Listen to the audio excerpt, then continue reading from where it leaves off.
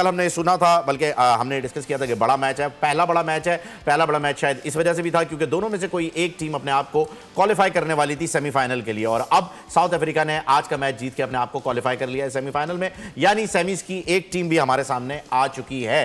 पहली इनिंग से शुरू करते हैं मेरे ख्याल में साउथ अफ्रीका जो खेला। जी कॉक के बारे में आपने कहा था कि दो खिलाड़ी आपके लिए अहम है। एक जी कॉक साउथ अफ्रीका से, और दूसरे जो हैं वो फिल सॉल्ट इन दोनों के बारे में आपने कहा ये की प्लेयर्स हैं ये मैच को चेंज कर सकते हैं। और हमने देखा कि डी कॉक ने मैच को चेंज किया।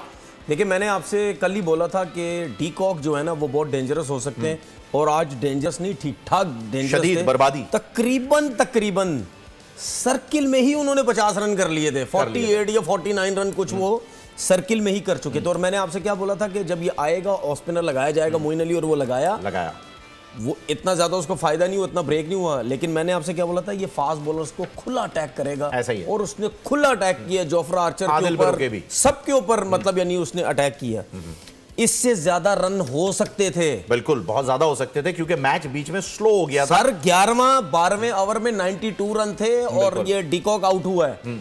उसके बाद आप देख लें कोई मतलब सत्तर वत्तर रन इन्होंने किए हैं कुछ आठ नौ ओवर के अंदर। आज उसकी सर, अलग ही बॉडी लैंग्वेज के साथ। सर बॉडी लैंग्वेज उसकी वजह थी ना। जी। जब एक तो आपको विकेट्स मिल रही हो प्लस हम्म। उसके साथ आउटस्टैंडिंग फील्डिंग हो रही हो। जी कैचिंग देख लें हाँ। जॉर्ज बटलर की विकेट कीपिंग देख लें हाँ। जो उसका रनआउट देख लें। सर ठीक है? फाइव मीटर की दूरी से। हमारा कोई बंदा लगा सकता है हमारी टीम से? देखे क्लासन हम्म। कितने पे आउट हुआ? क्लासन क्लासन आठ रन पे आउट हुआ। आठ रन पे वो भी सरप्राइजिंगली रन आउट जी। उसके बाद डीकॉक 65 पे आउट हुआ लेकिन डीकॉक का कैच तो देखो जो उसने बटलर को लिया स्टैंडिंग कैच जोफ्रा आर्चर की बॉल पे। हाँ जी जी। स्टैंडिंग कैच मतलब यानी आप ये तो देखें ये दो कैचेस एक कैच और एक रन आउट की वजह से मैच साउथ अफ्रीका 163 कर सका। किलर मिलर चले मैंने आपसे बोला था इनके रन करना बहुत ज़रूरी है। क्लासन के हो गया मार्करम के हो गया इन्होंने कुछ नहीं किया। लेकिन वही उसने मिलर ने जाके किलर मिलर आपने बताया था किलर मिलर कभी भी चल सकता है कभी भी नहीं चल सकता। मार्करम जो है वो तो सरप्राइजिंगली बल्कि इतनी अच्छी आदिल की बॉल आई है कि वो बोल्ड हो गए। और वो अपने आप को एक्सपेक्ट नहीं कर रहे थे कि मैं कर सकता हूँ। उम्मीद तो है कि साउथ अफ्रीका हम्म। आगे आ जाएगी सेमीफाइनल मुझे लगता है आने फाइनल में आ गई है फाइनल इंग्लैंड आ जाएगी इसमें हम्म। कोई वो नहीं है। लेकिन साउथ अफ्रीका का जो है ना वो मैं इस वजह से कह रहा हूँ ये क्लासन हो गए ये जो मार्करम हो गए इन दोनों का फॉर्म में आना बहुत ज़रूरी है और रीजा हैंड्रिक्स भी कुछ नहीं कर रहे। जी। ये तीन लड़के इनका फॉर्म में आना बहुत ज़रूरी है हर टाइम देखें आगे चल के बड़े मैच प्रेशर के मैच प्रेशर के मैच में डीकॉक भी जल्दी आउट हो सकता है। जब डीकॉक आउट हो गया तो फिर बाकी जो प्लेयर्स हैं वो कुछ नहीं कर रहे तो क्या होगा? हम्म, हम्म। मैं अभी भी समझता हूँ कि डीकॉक ने जिस तरह इंग्लैंड के फास्ट बॉलर्स की मार लगाई है जी जी। उसमें मुझे ऐसा लगता है कि इंग्लैंड के फास्ट बॉलर ने सर्किल में बॉलिंग अच्छी नहीं की।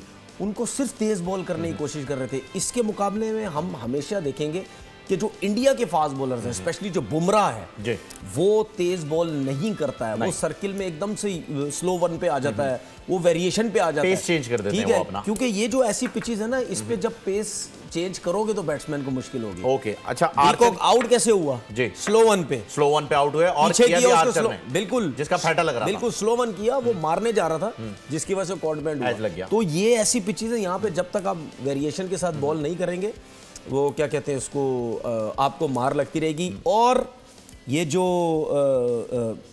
इंग्लैंड जो है ना ये मैच जीत रहा था। इसमें भी मैं एक गलती बता रहा हूँ साउथ अफ्रीका ने जो गलती क्या? भाई बैटमैन को खिलाने की क्या ज़रूरत थी? फास्ट बॉलर था उनका जो चौथा फास्ट बॉलर जिसने जिसने 21 रन दे दिए। रन दे दिए। ज़रूरत ही नहीं थी। भाई आपने शमसी को क्यों ड्रॉप किया है? जी शमसी शायद वो पिछले मैच के अंदर शमसी जो है वो इतनी अच्छी कारकर्दगी नहीं नहीं नहीं नहीं नहीं नहीं वो कारकर्दगी दिखाई है। बोल रहा है इन पिचेस में दो स्पिनर तो आपने खिलाने कम से कम। फिर क्या वजह क्या थी? बैटिंग की वजह से नहीं फास्ट बॉलर्स पे चले गए चार फास्ट बॉलर पे चले गए। हम्म। आपके पास एक जेनवन महाराज खेल रहा था बस। हम्म। महाराज ने निकाली हैं। मैं वही तो कह रहा हूँ महाराज सिर्फ़ खेलता शमसी को आपको खिलाना चाहिए था। अगर आप शमसी को खिलाते तो शायद इंग्लैंड इस सिचुएशन पे भी ना पहुँच सकता। पहले आउट हो क्योंकि उसके चार ओवर बॉल ब्रेक भी हो रहा है। मुश्किल होती है। अच्छा यहाँ आपने देखा नहीं कि मोइन अली ने और आदिल रशीद ने जो बॉलिंग की है। आउट क्लास बॉलिंग की है। मोइन अली ने आ, आ, आदिल की अगर हम बात करें तो उन्होंने 20 रन दिए अपने स्पेल में जिसमें एक विकेट भी लिए और बड़ी अहम विकेट थी मार्करम की देखिए क्योंकि वो ले गए। एक कैच भी ड्रॉप हुआ क्लासन से। बिल्कुल देखिए मोइन अली ने तीन ओवर में 25 रन दिए हम्म। आदिल ने चार ओवर में 20 रन दिए।